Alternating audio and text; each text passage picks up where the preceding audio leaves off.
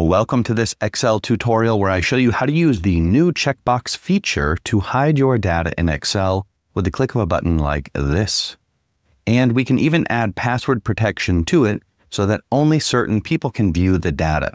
Here we have a big table of data, but it also works well with a small set like this for our email tutorial where we have a little bit of data that sets everything else up, like when we click a button and we have an email automatically prepared for these people.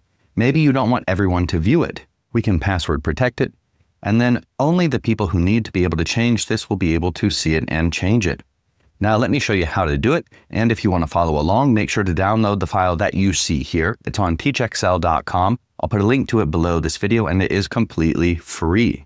While you're there, check out our Excel courses. We also teach you how to automate Excel, make custom dashboards, automatically send out tons of emails to everybody who needs them with reports attached, everything you need to save yourself hours of time and go home early. Now, the first thing we need here is a title that tells you what the checkbox is going to do. Then an empty cell, go to Insert, Checkbox. And if you don't see this right here, make sure that you update your version of Excel to the latest version and it should be there. Then we have a nice little checkbox. And what it's going to do is in this cell behind the checkbox, input true or false. False if it's unchecked, true if it's checked. So this is kind of a more efficient way to do what we've done in the past with a different type of checkbox in the worksheet. All we have to do now is apply conditional formatting with a custom rule that will check true or false for all of this. So let us select the data that we would like to hide. Then home, conditional formatting, new rule, use a formula, and then down here enter the custom formula equals not, open parentheses, and then the location of the checkbox in the worksheet.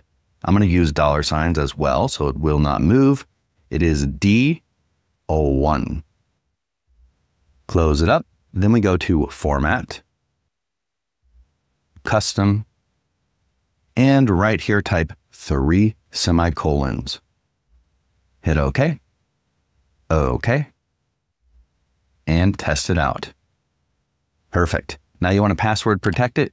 Very, very simple. Go to Review, Protect, Protect Sheet, input a password,